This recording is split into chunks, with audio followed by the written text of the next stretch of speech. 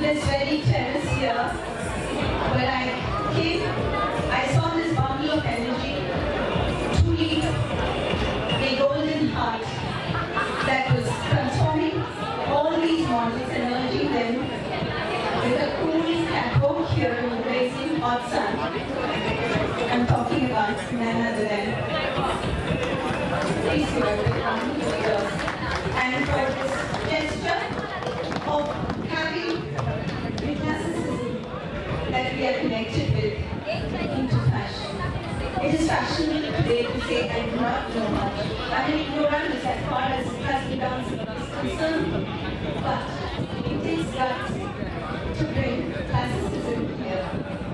Thank you so much for that because years back, the Britishers crushed everything that was ours. And with that went our culture. Today we are doing it ourselves.